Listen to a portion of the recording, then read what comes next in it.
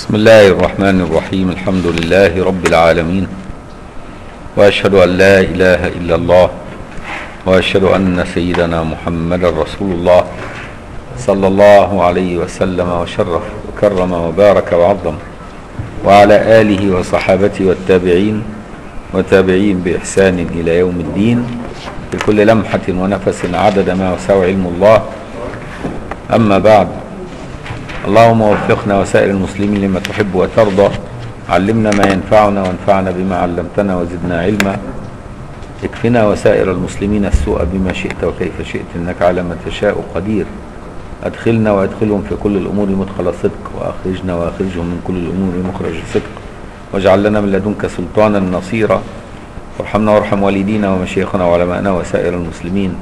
يا رب العالمين وسلام على المرسلين والحمد لله رب العالمين. أما بعد نكمل قراءة وشرح كتاب فتح القريب المجيب لابن قاسم الغزي في شرح ألفاظ التقريب وهو الغاية الاختصار في فقه السادة الشافعية للإمام أبي شجاع رحمهم الله تعالى ونفعنا الله بعلومهما في الدارين. آمين. فصل في أحكام الوقف.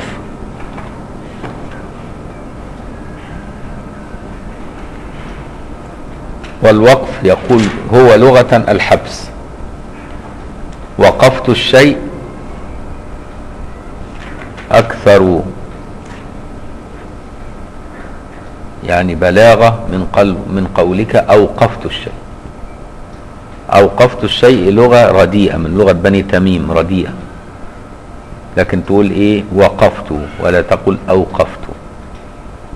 والوقف هو الحبس. وتقول أحبست. يعني في الحبس تقول أحبست وفي الوقف تقول وقفت ما تقولش أوقفت. هي دي اللغة الجيدة. فأصلا الوقف معناه حبس. يعني حبست شيئا معينا على جهة معينة. هذا معناه اللغوي. وشرعا حبس مال معين قابل للنقل يمكن الانتفاع به مع بقاء عينه. وقطع التصرف فيه على أن يصرف في جهة خير تقربا إلى الله تعالى. ده تعريفه نقرأ التعريف تاني ونفهم كل كلمة فيه. هو إيه أصله؟ دليله يعني. دليل الوقف من القرآن قول الله عز وجل لما نزلت سورة لن تنالوا البر حتى تنفقوا مما تحبون. جاء سيدنا أبي طلحة الأنصاري إلى رسول الله صلى الله عليه وآله وسلم وكان عنده بستان يسمى بيرحاء كان مقابل لمسجد النبي صلى الله عليه وسلم من الجهة الشمالية. يعني أيام ما كانت القبلة لبيت المقدس كان يبقى مواجه للقبلة. ولما صارت القبلة إلى الكعبة صار في ظهر المسجد. ده إيه؟ بستان بيرحاء وكان من البساتين الغالية الثمن في المدينة وكان أفضل مال عند أبي طلحة. فلما نزلت الآية لن تنالوا البر حتى تنفقوا مما تحبون. ذهب إلى رسول الله صلى الله عليه وسلم وقال أشهدك يا رسول الله بيرحاء أفضل مالي وهي لله ولرسوله. يعني كأنه أوقفها لله ورسوله. فالنبي صلى الله عليه وسلم نصحه وقال إيه مال رابح. وفي رواية مال رايح. يعني رايح في وجهته المحمودة يعني. ونصحه صلى الله عليه وسلم أن يجعله في بني عمومته أن يقسمه على بني عمومته حتى يأخذ ثواب الصلة وصلة الرحم وثواب أيضا إيه؟ الصدقة. فالوقف نوع من الصدقات الجارية. صدقة جارية لأنه بيستمر الانتفاع بها سنوات عديدة. وبرضه سيدنا عمر بن الخطاب أصاب من خيبر مال يعني قطعة أرض وفيها نخل وكانت من أفضل الأموال التي إيه يملكها سيدنا عمر. ذهب لرسول الله صلى الله عليه وسلم وقال هي لله ولرسوله. فنصحه النبي أن يوقفها في النفقة على المساكين وعلى الفقراء. يعني يوقف رقبتها وينتفع المساكين والفقراء على ما يخرج منه يعني معناه يوقف رقبتها يعني لا تتملك. يعني تتملك الرقبة نفسها رقبة شيء لا يتملكه. ولكن ينتفع بما يخرج منها في جهة معينة. فده أصل الإيه؟ الوقف من حيث الدليل الشرعي من السنة والقرآن. تعريفه بيقول حبس مال معين. كلمة معين مال اللي يبقى شيء يتمول له قيمة يعني. ومعين يخرج إيه؟ يخرج ما في الذمة. ويخرج المبهم. يعني ما ينفعش أقول مثلا أوقفت إحدى شقتي. أنا عندي شقتين. أقول أوقفت إحدى الشقتين لتحفيظ القرآن. لا يصلح هذا وقف ليه؟ لأنه مبهم. إيه إحدى؟ لازم تعين. اللي موجودة في المقطم ولا اللي موجودة في السيدة عائشة وما ينفع اما تقول لي إحدى الشقتين. يبقى مش هنعرف ننفذها. يبقى إحدى الشقتين دي اسمها إيه؟ مبهم. يبقى غير معين. أو يقول مثلا إيه؟ لله في ذمتي أن أوقف الأرض التي سوف أشتريها في المستقبل. دي ما ينفعش وقف لأنه في الذمة. فلازم يبقى مال معين. يخرج ما في الذمة ويخرج إيه؟ المع... غير المعين اللي هو المبهم. ولازم كمان في شرط تاني يقول لك قابل للنقل. يعني قابل لنقل ملكيته من سيطرته لأنه يملكه إلى التصرف فيه من حيث الانتفاع بما يخرج منه. يبقى قابل لنقل ملكيته. يعني أنا لو لي سلطان على المال ده لا أستطيع أن أنقل ملكيته إلى الوقف. لابد أن يكون هذا المال قابل للنقل يعني قابل للتصرف. فيخرج مثلا بعض النماذج القديمة يقول لك يخرج أم الولد. أم الولد دي أمة ملك يمين وكانت لها قيمة مالية. إذا أنجبت ولد لا يستطيع أن يبيعها. فيبقى غير قابلة للنقل. لأنها يحررها ابنها بمجرد أن يموت سيدها طالما أنجبت منه. فهمت إزاي؟ فيحررها ابنها على طول. يسموها أم ولد أو مستولدة. يبقى دي غير قابلة للنقل. فهمت إزاي؟ وكذلك المكاتب. العبد اللي هو بيشتري نفسه من سيده غير قابل للنقل للنقل. لأنه إيه؟ لا يبيعه. فهمت بقى إزاي؟ وندي لك مثال تاني في العصر الحديث المال المحجور. يعني أنا مثلا مشتري سيارة بالتقسيط من بنك. البنك ده بيعمل حجر بيع. حظر بيع فأنا ما ينفعش أوقف هذه الطياره السيارة لأنها في فترة حظر البيع لأنها غير قابلة للنقل. فهمت إزاي؟ فأي مال محجور عليه فيه لا يستطيع ان هو يجعله وقفا لله تعالى في أي وجهة من الوجهات لأنه غير قابل للنقل. فهمت بقى المسألة؟ يبقى لازم يبقى إيه؟ اولا مال يعني متمول معين نخرج المبهم وما في إيه؟ الذمة. وقابل للنقل نخرج إيه؟ المحجور عليه. أو ما لا يملكه. ومش كده وبس. يمكن الانتفاع به مع بقاء عينه. ويكون هذا المال ينتفع بما يخرج منه مع بقاء عينه. يعني لا يست... لا ينتهي بالانتفاع به. لا يخ... لا يعني ما ينفعش أوقف طعام. لأن الطعام يستهلك.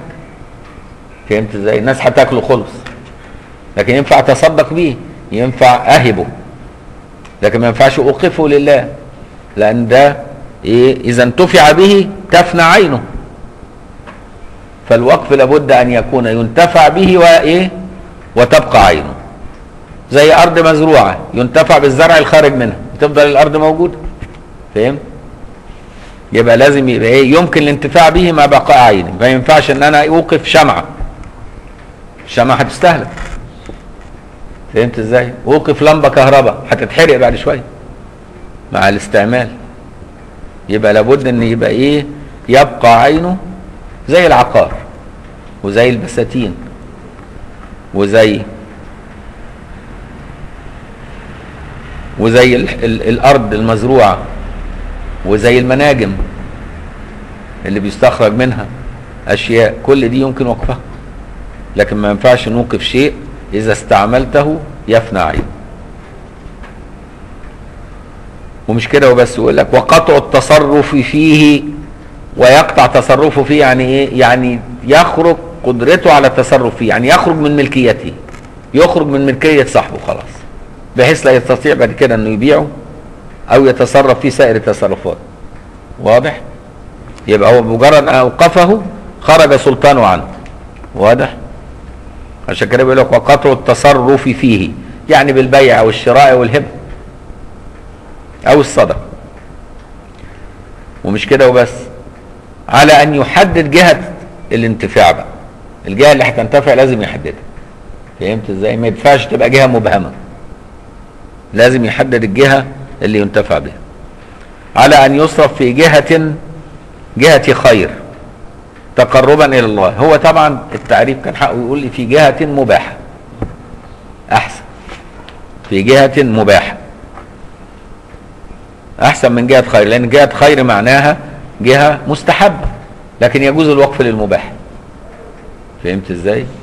يبقى يجوز الوقف لجهة المباحه ويجوز الوقف لجهة واجبة واجبة النفقة فيها. كمثلا تحفيظ القرآن ده واجب على العموم في الأمة. فممكن إنه يوقف على تحفيظ القرآن مبنى معين أو أرض تدر ريع معين بحيث ينفق على طلبة العلم وهكذا. على أن يصرف في جهة خير تقربا إلى الله تعالى. ولو لم يكن التقرب إلى الله واضح فيه. يعني ممكن واحد يوقف ماله للأغنياء. شوف لأن الغني إذا افتقر بيقول لك إيه؟ يعني الإنسان لما يبقى غني ويفتقر بيبقى بيتذل. فواحد هو حاسس بإيه؟ بكثرة نفس الغني إذا افتقر. فيقوم يوقف ماله على الأغنياء. فهمت إزاي؟ جائز. وإن كان يعني جهة القربة فيها مش واضحة. يقول لك ده ده بينفقوا على أغنياء. فهمت؟ وأنت عارف في الحديث إن في واحد تصدق على غني وربنا قبل صدقته. وتصدق على بغي. وإيه؟ وربنا قبل صدقته وتصدق على سارق. وربنا قبل صدقته يبقى الوقف من أنواع الإيه؟ الصدقات الجارية. من أنواع الصدقات الجارية. في ناس كتير يسألك يعني اعمل إيه صدقة جارية؟ يوقف شيء لله.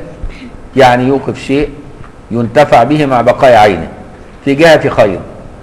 فهمت إزاي؟ ويخرج عن تصرفه. يبقى كده عمل صدقة جارية بحيث وهو ميت ياخد ثواب هذه الجهة ويبقى الإمام السيوطي مجمع ال- الايه الأشياء اللي هي ينتفع بها الميت كصدقات جارية يعني. جمعها في بيت شعر لطيف وجمعها من جميع الأحاديث لأن الناس مش عارفة منها إلا ثلاثة بس. الحديث المشهور لكن في أحاديث أخرى غير مشهورة فيها وجوه الصدقات الجارية كثيرة. فالإمام السيوطي جمعها بيقول إيه؟ إذا مات ابن آدم ليس يجري. عليه من خصال غير عشر. يعني خلاها عشرة. إذا مات ابن آدم ليس يجري. عليه من خصال غير عشر. علوم بثها. اللي هو علم ينتفع به علوم بثها ودعاء نجلي. كويس؟ وغرس النخل والصدقات تجري. اللي هي الصدقة الجارية يعني. وراثة مصحف ورباط ثغر. وحفر البئر أو إجراء نهر. وبيت للغريب. وبيت للغريب بناه يأوي إليه. أو بناء أو بناء محل ذكر. وتعليم لقرآن كريم فخذها من أحاديث بحصر. يبقى ادي الحاجات لما يجي حد يسألك إيه الصدقات الجارية اللي ممكن الواحد يعملها يبقى فاكر فاهم الحديث ده وعارفه. نقولها تاني إذا مات ابن آدم ليس يجري عليه من خصال غير عشر علوم بثها. ودعاء نجلي وغرس النخل والصدقات تجري. انت عارف النخلة ممكن تعيش 100 سنة. يقوم يغرس نخلة ويموت. كل اللي بياكل منها ياخد ثوابها وهو ميت. وغرس النخل والصدقات تجري وراثة مصحف ورباط ثغر وحفر البئر أو إجراء نهر وبيت للغريب بناه يأوي إليه أو بناء محل ذكر زي مدرسة أزهرية زي مثلا آه، كلية يدرس فيها العلوم النافعة أو بناء مثلا رباط زي ما كان في أربطة للصوفية زمان يعيش فيها أهل الذكر واللي يسموها خانقاة زمان أو زاوية زي الزوايا المشهورة. كل دي وكذلك وتعليم القرآن وتعليم لقرآن كريم. شوف انت ما تعلم طفل القرآن وتيجي انت تموت. الطفل ده يعيش بعدك 60 70 سنة كل ما يصلي ويقرأ الفاتحة تاخد ثواب. كل ما يقرأ القرآن تاخد ثواب. انت اللي علمته. وتعليم لقرآن كريم فخذها من أحاديث بحصر. فالوقف من ضمن إيه؟ أسباب الصدقات الجارية. لدرجه إن يقال في المدينة إن في وقف من أيام سيدنا عثمان بن عفان لحد دلوقتي. باسم سيدنا عثمان. لحد دلوقتي. بينفق وبتشرف عليه وزارة الأوقاف هناك في في الأراضي الحجازية ويسموه وقف عثمان لحد دلوقتي. فشوف بقى سيدنا عثمان بقى له مدفون بقى له كام سنة ولحد دلوقتي الوقف بتاعه شغال رضي الله عنه وأرضاه. ها؟ الرباط في في في في ثغر من ثغور الإسلام يعني الإنسان اللي يموت مرابط ربنا يجري عليه عمله كأنه عايش ليوم القيامة. إذا مات مرابطا. محتسبا. يوم يجي رمضان مكتوب له صامه وهو ميت. يجي وقت مكتوب له صلاه وهو ميت. الرباط اللي هو يعني في الحراسة في الثغور آه. الرباط اللي هو يقف في ثغور من ثغور المسلمين. وخد بالك إن نوسعها الرسول صلى الله عليه وسلم بيقول إيه؟ اسباغوا الوضوء على المكاره واخد بالك؟ وانتظار الصلاة بعد الصلاة. وإيه؟ وكثرة خطى المساجد فذلكم الرباط فذلكم الرباط. اللي يواظب على الثلاث خصال دي ويموت مكتوب له عمله كأنه عايش لحد يوم القيامة. شفت بقى؟ لأنه ده مرابط أهو. فدي نعم كبيرة. وكذلك المؤذن المحتسب. كل دول بيكتب لهم إيه ثواب عملهم؟ كأنهم أحياء. بالظبط مش في حديث حصرها في ثلاث ثلاث حاجات بس اللي هو طب ما هو الرسول صلى الله عليه وسلم بيحصرها في رواية ثلاثة يسهل حفظها وبعدين يجي في رواية ثانية يقول اثنين غيرهم. زي في الكبائر يقول لك الكبائر 10 ويجي في رواية ثانية يقول لك الكبائر سبع. واخد بالك؟ وتيجي تجمع الكبائر تلاقيها قرب ال 300 فهمت؟ يبقى ليس على سبيل الحصر. يقول لك لا مفهوم للعدد. ليست له مفهوم للعدد. فهمت؟ ليست على سبيل الحصر. زي ما اتكلمنا برضو على إيه؟ سبع خصال توجب الظلال. في ظل عرش الرحمن. لما جينا جمعنا الأحاديث اللي توجب الظلال وجدناها أكثر من 94 خصله مش سبعة بس. فهمت؟ لكن الحديث المشهور هو السبعة. لكن في بقى حاجات تانية كتيرة جمعوها العلماء. يبقى إيه لا مفهوم للعدد في مثل هذه الأمور. المهم بيقول لك وشرائط الواقف صحة عبارته وأهلية التبرع. لازم الواقف ما يبقاش صبي ولا مجنون ولا سفيه. وما يشترطش في الواقف على فكرة الإسلام. يعني ممكن كافر يوقف ماله لبناء مسجد نقبله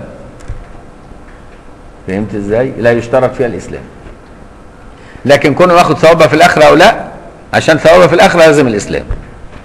عشان تقبل لأن المسلم يؤمن بالآخرة. إنما الكافر مش مؤمن بالآخرة. ولو كان مؤمن بالآخرة ويكفر بالأنبياء يبقى عمله محبط. فاهم لكن يصح وقفه في حال دنيا ويقبل. يبقى لازم صحة عبارته فيخرج الصبي والمجنون والسفيه والمحجور عليه. وأهلية التبرع ولازم يكون رشيد ومالك فيما يوقف.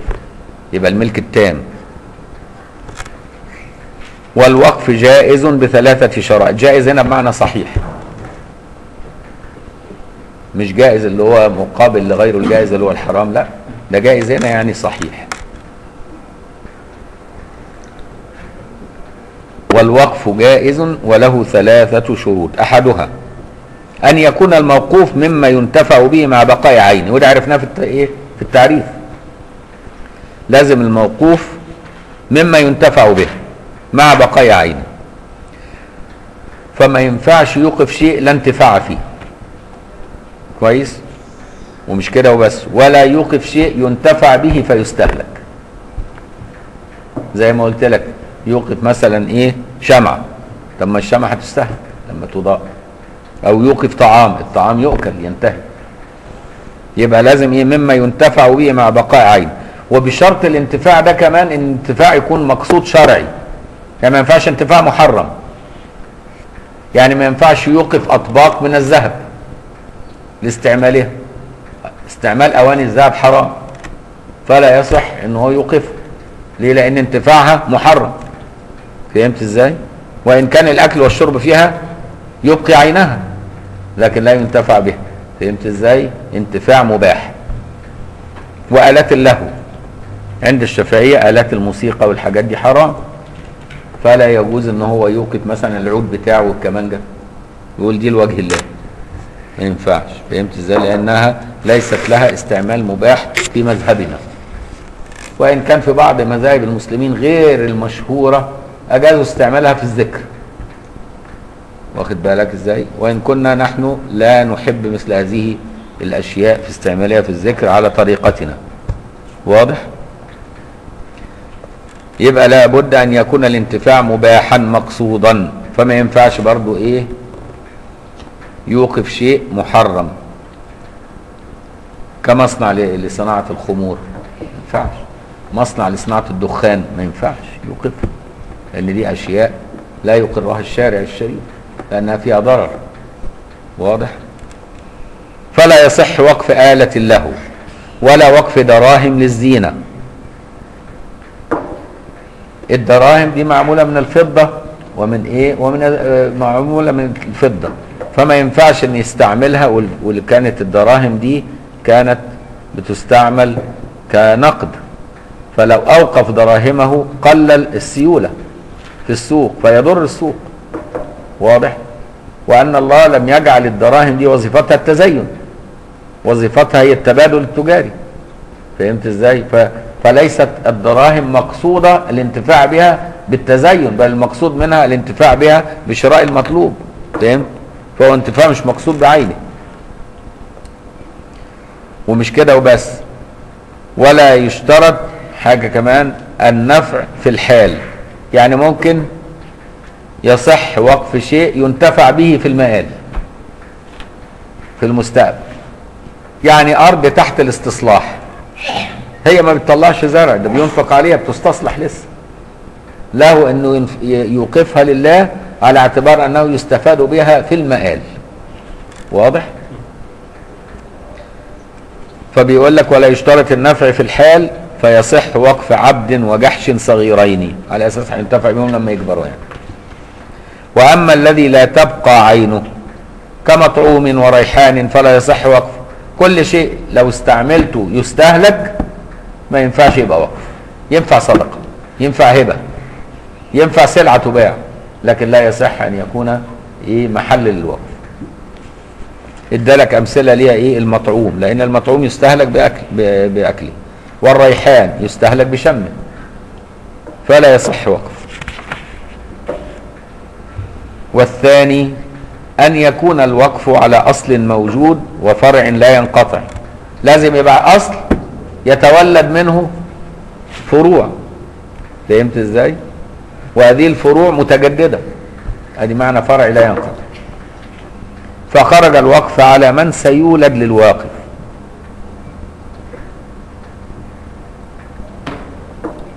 ثم على الفقراء ويسمى هذا منقطع الأول. يعني ما ينفعش لازم يكون الوقف جهة الوقف على إيه؟ على أصل موجود وفرع لا ينقطع. يعني هيوقفوا على إيه؟ على حاجة موجودة دلوقتي يتولد منها فروع. يعني يوقفه مثلا على زيد الفقير وذريته. تمشي فهمت إزاي؟ إنما ما ينفعش إيه؟ يبقى مقطوع الأول متصل الآخر. يقول مثلا إيه؟ هو وقف على من سيولد للواقف ثم على الفقراء. يقول هذا وقف إيه؟ لمن سوف يولد من ذريته وهو لسه ما اتجوزش أو لسه زوجته لم تنجب. فده يبقى منقطع الأول لأنه مش موجود الطرف ثم للفقراء يبقى ده منقطع الأول إيه؟ فما ينفعش. ويسمى هذا منقطع الأول. منقطع الأول يعني إيه؟ يعني الموقوف عليه غير موجود الآن. اللي هو نمره واحد. يعني هو عامل الوقف أولويات. لكذا فإن انقطع ده يبقى الكذا. بدليل ثم فالكذا الأولاني ده مش موجود الآن. فيسموه منقطع الأول ولا يصح على الراجح. يعني إيه لا يصح على الراجح؟ يعني في وجه ضعيف في المذهب يصححه ويقول لك ينتقل على الموجود. يبقى للفقراء. فهمت إزاي؟ في وجه إيه؟ مقابل للصحيح. يقول لك ينتفع بيه بس ينتقل للايه؟ للفرع التاني. على طول. أو للإيه؟ للجهة الإيه؟ اللي على التراخي. طب افرض ما قالش ثم للفقراء. هذا وقف لمن سيولد مني ثم للفقراء. وأنا لسه ما اتولدليش حد. واخد بالك؟ ثم للفقراء. افرض ما قالش ثم للفقراء. إحنا قلنا ثم للفقراء يبقى منقطع الأول. موصول الآخر وهذا لا يصح على الراجح وفي مقابل للايه للصحيح إنه يصح وينتقل للموجود. فهمت طيب افرض بقى ما قالش ثم للفقراء. يعني إن كان منقطع الأول والآخر. فهمت إزاي؟ يبقى لا يصح من باب أولى. يبقى من باب أولى لا يصح. قولا واحدا بقى. فهمت؟ مش هيبقى فيها خلاف. وقول لا ينقطع احتراز عن الوقف المنقطع الآخر. كقولي وقفت هذا على زيد ثم نسله ولم يزد على ذلك. لأن ممكن نسل زيد يموتوا ويبقى ينقطع زي نسل زيد. ممكن نس زيد نفسه ما ينجبش. فهمت إزاي؟ فينقطع. وفيه طريقان أحدهما أنه باطل كمنقطع الأول. يبقى الوجه الأولاني إحنا قلنا منقطع الأول لا يصح ده الراجح. وكذلك لو إيه؟ لو أوقفه على نسل زيد. واخد بالك؟ يبقى باطل. ليه؟ لأن نسل زيد قد ينقطع. ويبقى منقطع الآخر وهو الذي مشى عليه المصنف. لكن الراجح اللي رجحه إيه؟ الشارح ابن قاسم الغزي قال إنه يصح إذا كان إيه؟ إذا كان الوقف منقطع الآخر. يعني إيه؟ يعني يعني الوقف على أصل موجود لكن منقطع الآخر. قال لك يصح في وجهان في وجه قال لك باطل في وجه تاني قال لك إيه؟ يصح زيد مثلا آه. زيد موجود بس اولاده مش موجودين يعني أنا لو خليته في نسل فلان ممكن نسل فلان ده ينقطع. يعني يزيد بن معاوية اللي قتل سيدنا الحسين وقتل ذرية آل البيت كلهم نسله فين؟ يقول لك بعد عشر سنين لا يوجد له نسل إلى يومنا هذا انقطع نسلهم كلهم. كل اللي قتلوا سيدنا الحسين لا نسل لهم انقطع. ونسل سيدنا الحسين والحسن باقي الآن ملايين مملينة. شوف قد إيه ربنا بقى إيه؟ يمكرون ويمكر الله. فممكن ناس نسلها تنقطع. فهمت إزاي؟ يبقى منقطع الآخر. يعني هم أرادوا ياخدوا على نسل النبي يقوم ربنا يقطع على نسلهم هم ونسل النبي يستمر ليومنا هذا. تروح جنوب أفريقيا تلاقي أشراف تروح ماليزيا تلاقي أشراف تروح الهند تلاقي أشراف حاجات غريبة. تروح باكستان تلاقي أشراف تروح أفغانستان تلاقي أشراف تروح روسيا تلاقي أشراف. في جميع بلاد العالم في أشراف منسبين اسمائهم معروفة يقول لك فلان ابن فلان كده بالسلاسل يعني أنا قابلت واحد في ماليزيا لما كنت في الزيارة اللي فاتت راجل ماليزي ما يعرفش يتكلم كلمة عربي وشريف النسب منسب يقول لك ده من أشراف ماليزيا دخل علينا وقعد معانا. واخد بالك؟ يعني شوف الأشراف موجودين في جميع جنسيات العالم في كل جهة في العالم. دور على نسل الأمويين. انقطع. اللي هم قعدوا يسبوا في سيدنا علي ويقتلوا ذرية سيدنا الحسن والحسين. انقطع. ما لهمش نسل. معاوية بن أبي سفيان في النسل. قطع فهمت؟ نفس معاوية بن أبي سفيان. انقطع نسل. فهمت علشان كده اما تيجي توقف شيء على نسل فلان ينقطع. فهمتني بقى المسألة؟ والثالث ألا يكون الوقف في محظور. محظور يعني محرم. يعني ما ينفعش يوقف مالي للنفقة على الكازينوهات الموجودة في شارع الهرم اللي هو بيبقى فيها خمور. ما ينفعش لأن ده محظور. فهمت؟ أو على الملاهي الليلية. ما ينفعش. أو أوقف هذا المال لإيه؟ لإنتاج الأفلام ما ينفعش الكلام ده لأن التمثيل عندنا حرام قطعا في مذهبنا حرام قطعا في مذهبنا بلا خلاف ولا أوجة فيها فهمت؟ فما ينفعش والثالث ألا يكون الوقف في محظور بضاء مشالة أي محرم فلا يصح الوقف على عمارة كنيسة للتعبد. بدك مثال للمحظور اللي هو إيه عشان ما تتشك ما تد... يعني ما يعني ما ينفعش إن أنا اوقف مالي علشان تبنى به الكنائس. ما ينفعش كده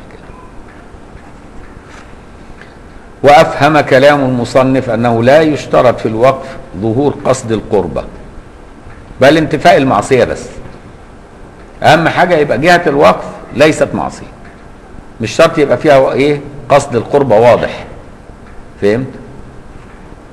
سواء وجد في الوقف ظهور قصد القربة كالوقف على الفقراء أو كالوقف على الأغنياء. وأنواع الوقف كتيرة لما تيجي تقرأ في أوقاف المسلمين تجد مقاصدها كانت غريبة الشكل. كان بعضهم كان يوقفه وقف الست الغضبانة. كان موقف وقف في مصر كده اسمه وقف الست الغضبانة. يعني الست لما تغضب من جوزها بالليل ويطردها وما تلاقيش ليها مكان يأويها. واخد بالك؟ تقوم تروح لوقف الست الغضبان تلاقي مكان يأويها وأكل وشرب ومكان آمن لحد ما جوزها يصطلح عليها أو يطلقها ويزوجوها. شوف أو ده دي أوجه من وجوه الوقف وقف الست الغضبان. كان في وقف للطيور المهاجرة لإطعام الطيور المهاجرة. علشان كده تلاقي فوق قبة الإمام الشافعي عاملين إيه؟ سفينة كبيرة كده. فوق قبة الإمام الشافعي. كانوا يملوها حبوب في مواسم الطيور المهاجرة. عشان الطيور المهاجرة جاية من أوروبا ماشية آلاف الأميال. توصل هنا في- سماء القاهرة تبقى للراجل بعضها يسقط من الجوع. يقوموا إيه؟ يملوا لها دي علشان لما تعدي تاكل منها. فده وقف مثلا طيور المهاجرة. كان في وقف لسقيا الكلاب. في الجمالية لحد دلوقتي. معروف. لسقيا الكلاب الضالة. وكانت الكلاب عارفاه مكانه. سبحان الله. يقول لك من كل فج من القاهرة يروحوا هناك يشربوا ويستحموا. واخد بالك إزاي؟ فيعني كان في أوقاف. وكان الشيخ عبد الله الصديق الغماري حكى لي إن كان في طنجة بلده اللي هو اتولد فيها في المغرب كان في وقف لإيه؟ لمؤانسة الوحشان مؤانسة الوحشان يعني إيه؟ يعني موظف. يدوا له مرتب يطلع في مئذنة المسجد بعد منتصف الليل يقعد يقول تواشيح ويقول تسبيحات وترانيم يسمعها اللي مش جاي له نوم وعايش لوحده يأنس بيه حتى يؤذن الفجر.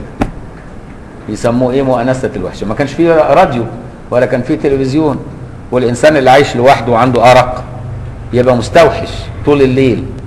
وكان في ضلمة ما كانش في كهرباء زي الوقت فكان محتاجين حد يأنسه. ويبدو إن صاحب الوقف ده عانى من إيه من الوحش. فلما عانى من الوحشه أوقف ماله لمؤانسة الوحش. فهمت؟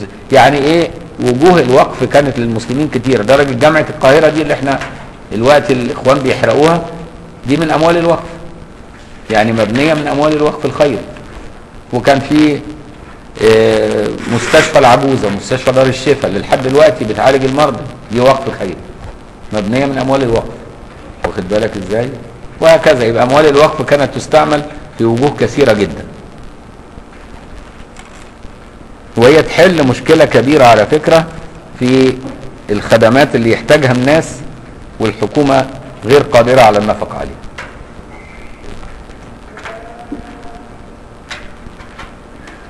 والثالث ألا يكون الوقف في محظور بضاء مشالة أي محرم فلا يصح الوقف على عمارة كنيسة للتعبد. وأفهم كلام المصنف أنه لا يشترط في الوقف ظهور قصد القربة بل انتفاء المعصية. سواء وجد في الوقف ظهور قصد سواء وجد في الوقف ظهور قصد القربة هتبقى وجد. مش كده برضه سواء وجد مش كده برضه بس أنا عندي نشكلها وجد. هي هتبقى وجدت سواء وجد في الوقف ظهور قصد القربة كالوقف على الفقراء أو كالوقف على الأغنياء.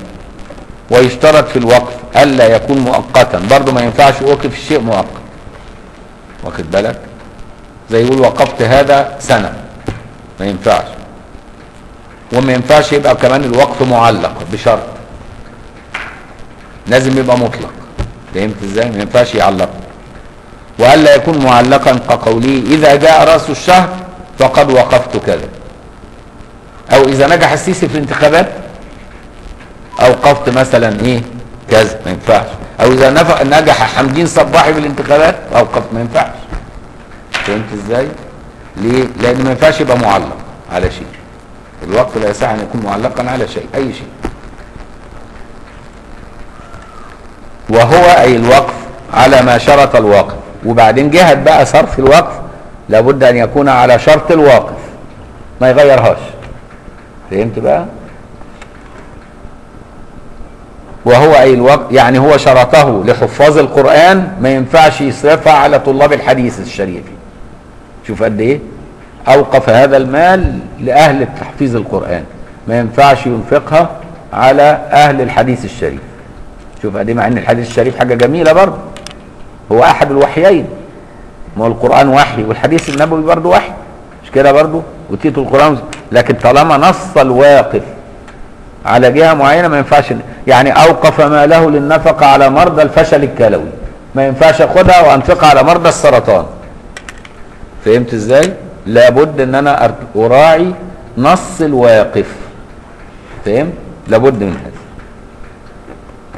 وهو أي الوقف على ما شرط الواقف فيه من تقديم لبعض الموقوف عليهم كوقفت على أولادي الأورع منهم. يعني هو قال إيه؟ أنا وقفت هذا المال للنفقة على أولادي وأولاد أولادي الأورع منهم. يعني لما يطلع من أولاد واد فاسد ما ياخدش منهم. فهمت بقى إزاي؟ يبقى يروح للعيال الصالحين من ذريته بس اللي هم المشهورين بالصلاة. أو تأخير كوقفت على أولادي فإذا انقرضوا فعلى أولادهم. ينفع هذا. أو تسوية كوقفت على أولادي بالسوية بين ذكورهم وإناثهم. أو بالتفضيل كلبعض الأولاد على بعض كوقفت على أولادي للذكر مثله منهم مثل حظ الأنثيين. كل ده جائز المهم إيه إنه راعي الشرط اللي شرطه. فهمت إزاي؟ يبقى الوقف على شرط إيه؟ الواقف. ولا بد أن يعين لكل وقف ناظر. يسموه ناظر الوقف. اللي هو أمين على تنفيذ الوقف في مصارفه وعلى رعاية المال بحيث أنه لا يضيع وينتفع بما يخرج منه. يعني يدير هذا المال ويجعله في الجهة التي إيه؟ يسموه ناظر الوقف. ويشترط في نظر الوقف العدالة. يعني الديانة. وهو ليه الأوقاف في مصر حلوها أيام جمال عبد الناصر؟ عشان لقوا كل نصدار الوقف معظمهم حرامية والعياذ بالله. فهمت؟ بيدير الوقف لمصلحته هو وذريته. وأصبح كأنه متملك الوقف مش بيدير الوقف. فلما انتشر الفساد انبنى على علاج هذا الانتشار الفساد فساد أكتر وهو حل الأوقاف. وإدخال الأوقاف في الميزانيه العامة للدولة. فأفقروا بعد ذلك إيه؟ الأزهر الشريف. لأن الأزهر الشريف كان ينفق عليه من هذه الأوقاف. فكان من الجهات الغنية. وطالما الجهة العلم الشرعي غنية مستغنية تطلع علماء أجلاء كبار موثوق في علمه. إنما أول ما يبقى النفقة على جهات التعليم ضعيفة يطلع العالم غير متفرغ للتعليم فيطلع ضعيف التعليم لأنه هيدور على باب رزق آخر. يعني دلوقتي حتى اللي بيشتغلوا في الجامعة بيدور على إنه يعمل مذكرة عشان يبيعها عشان يعرف يكسب منها. والمذكرة ملخص بيديه للطلبة اللي هم ما قروش أصلا الموسع. عشان يلخصوا لهم. وبالتالي بيخرج أجيال ضعيفة فينهار التعليم. فهمت بقى إزاي؟ بسبب هذا. ونقف عند هذا الحد ونكمل إن شاء الله. طيب إحنا نخلص بس الحتة دي. إحنا كده خلصنا الحمد لله. كده خلصنا الوقف ونقف على أحكام الهبة يوم الثلاثاء بعد القادم إن شاء الله. أيوه سؤال إيه؟ اتفضل بما انه ال- الوقف على من تجب عليه اعادته طب هل ده مش على إيه؟ من تجب عليه اعادته كأول. أيوه. طب هل ده مش مش وجه تلاعب بالإرث؟ لا ده مش إرث. ده هو بيتصرف في ماله كيف شاء. هو لو وقفوا على أولاده مثلا خرج الأب الاب والأم. طب ما هو مش معنى كده إن هو مش هينفق على ابوه وامه عنده مال كتير. بس أوقف المال ده. طب ما هو يتصرف في ماله كيف شاء. لو هو في حال حياته. ما اسموش إرث اسمه مالي. فهمت إزاي؟ طالما هو مالي يبقى أنت مالك مش بي- مش بيوقف وانت مالك إذا كنت هتصرف في مالي؟ هو أنت دلوقتي هتحجر على لا. أنت ممكن توقفه في حال حياتك. وسيدنا عمر أوقف ال... الأرض بتاعت خيبر في حال حياته في حال حياة النبي. وشوف عاش بعد سيدنا رسول الله كام سنة. وأوقفه.